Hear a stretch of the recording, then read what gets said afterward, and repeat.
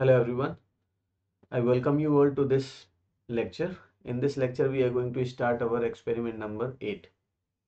that is based on the interprocess communication. So in interprocess communication there are multiple ways to establish the communication. We consider if there are let's say two processes P1 and P2 and P1 want to share some data with P2 process. There has to be some some medium or some channel or some way so that a process P1 can share the data with P2.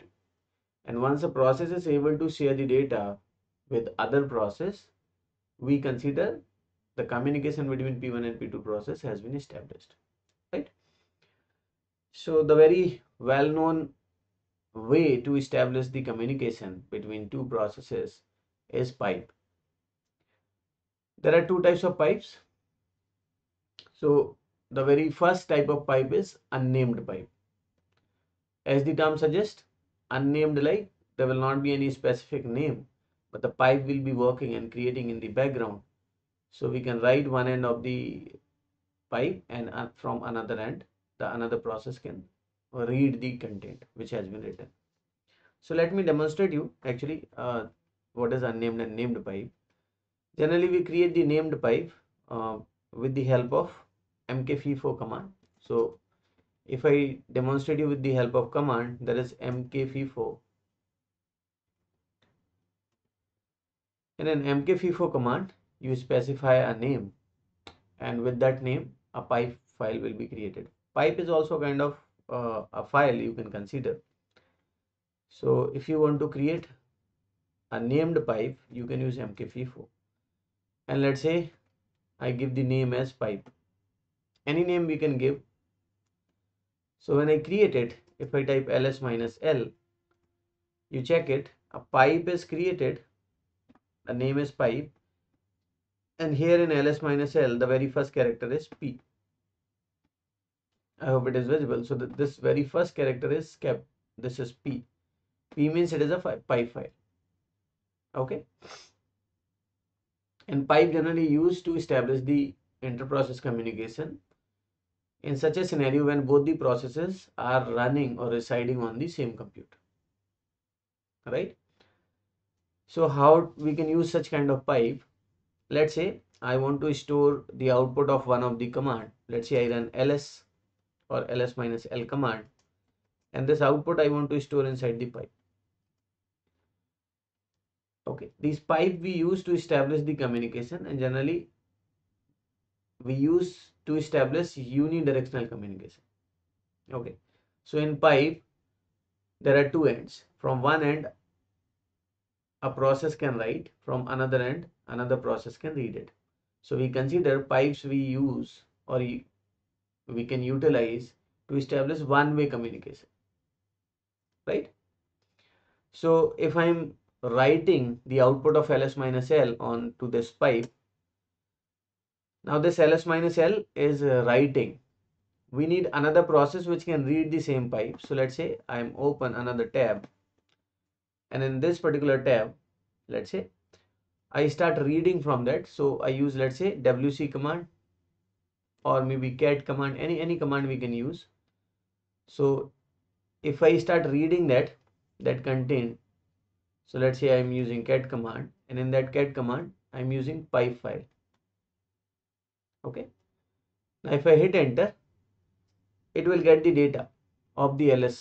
command so i hope you are getting the use here what i did is i type this ls and the output of ls is not displaying here this output i have written on this pipe and in another tab i start reading the content of pipe and i'm getting the output of ls okay so this pipe is the named pipe which I have created with the help of MKFIFO, right?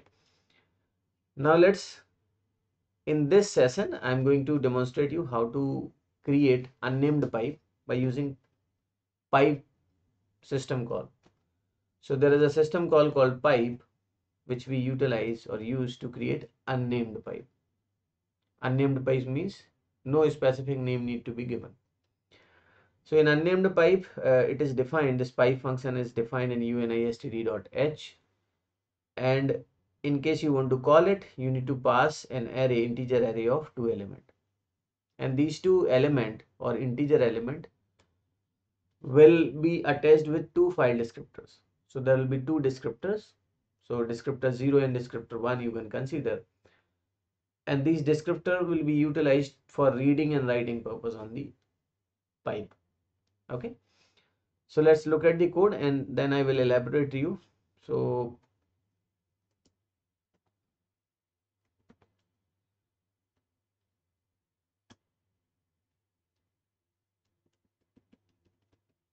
okay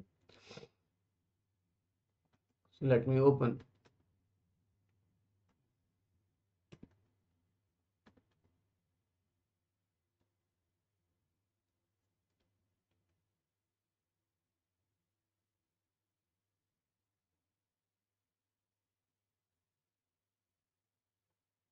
okay so this is the code let's say you check it now in this what i have given here i have created an integer array named as pipe fd why i am giving this name because i want to store the file descriptor which we are going to utilize okay so there are two file descriptor we require one file descriptor will be considered as input end another file descriptor will be considered as output end or you can say read end or write end okay now buffer size you can take anything because uh, once we read the data as i have demonstrated from the pipe file the output of ls i have written on the pipe and another end i was reading so when i read i need buffer when i write i need some some character array so for that matter you can take some array of 25 or 100 or whatever as per you need then I have declared a PID underscore T type variable that is PID because I'm going to create two processes with the help of fork. So one will become the parent process, another will become the child process. Okay. And I'll try to write data by let's say parent process will write on the pipe and child process will start reading from the other end. Okay. So let's look at here the very first thing I'm checking here for the error so I'm calling the pipe and inside the pipe I'm passing that array pipe fd array in case this pipe function works fine both the file descriptor will be initialized okay so this pipe fd will have two values associated to it after a successful execution of pipe function in case it does not execute successfully, then it will return minus 1. Okay. So I'm checking error here.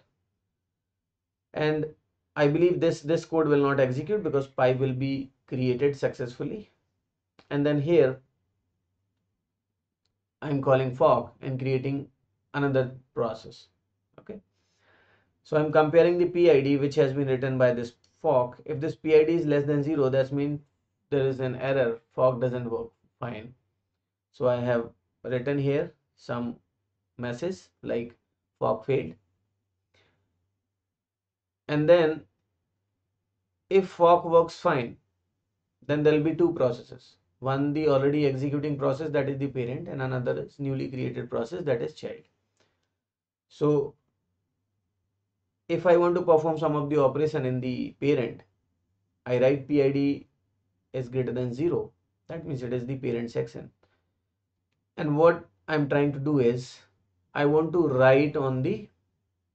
pipe so the parent will write and your pipe is having two end two file descriptor one is a reading file descriptor so fd0 index 0 is the reading end and index 1 is the writing end okay so if I only want to write I will close the reading end so here what I'm doing is close pipe fd0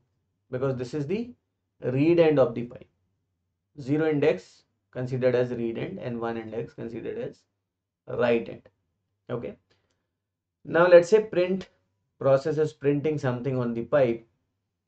So what exactly we want to write? For writing we are using write system call and with the help of write uh, here I am passing the file descriptor pipe fd1 that is the writing end of the pipe and here we are writing hello comma child process okay you can pass it as 25 or any other thing it depends upon how many character you want to write so that that depends okay so we are writing 1 2 3 4 5 6 7 8 9 10 11 12 13 14 15 16 17 18 19 20 21 22 we can pass here 22 also it will work fine you can give even larger value also that's not a problem now what is happening here once you write it once you write it that data will be written on the pipe now another process can start reading from the same pipe from index value 0 okay so let's look at the child code inside the child we start reading so because we want to read only we will close the right end of the pipe so we are closing here pipe fd1 that is the writing end of the pipe so we close this particular file descriptor and then let's say we are printing here child process reading from pipe now because uh, 25 characters i have written here or 22 character right then we are reading the same number of characters here and we are passing the file descriptor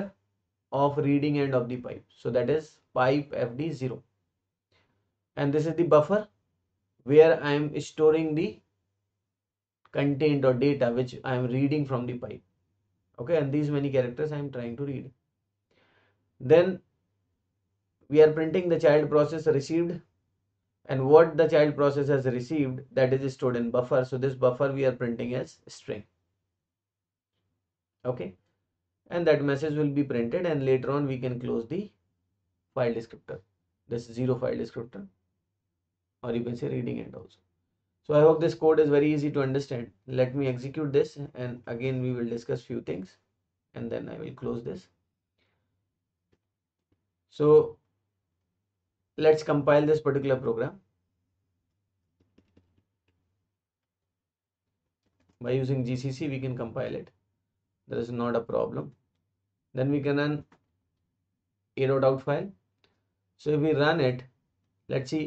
the parent process is writing to pipe the parent is writing the child process is reading from pipe the child process received hello comma child process so whatever has been written by the parent process on the pipe file the child is able to read that particular data so that means the communication has been established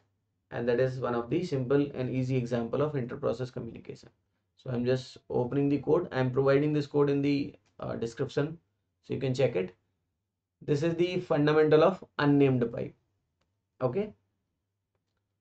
so please go through it you'll be easily able to understand it so i'm just closing this session okay see you in the next class thank you everybody for connecting